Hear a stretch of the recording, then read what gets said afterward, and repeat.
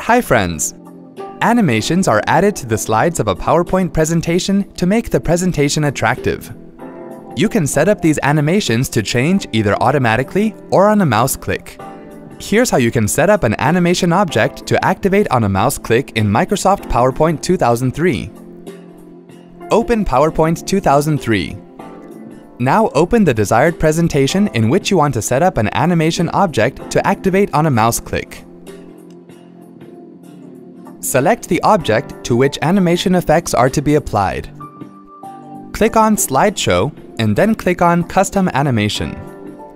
On the Custom Animation pane that appears on the right, click on the Add Effect drop-down menu.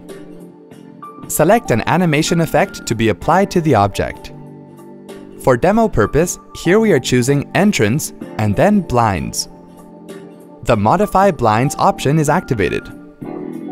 Now in the Start drop-down list box, make sure that the On-Click option is selected. To view the animation, click on the Play button. Click on the Slideshow button, and when you click on the screen, it will work exactly as you set it up. See? That wasn't hard at all. Thanks for watching. For more details, click on the eye icon on the top right of the video. Check out our iYogi channel for self-help videos on Windows, Mac, smartphones, security, social media, and much more.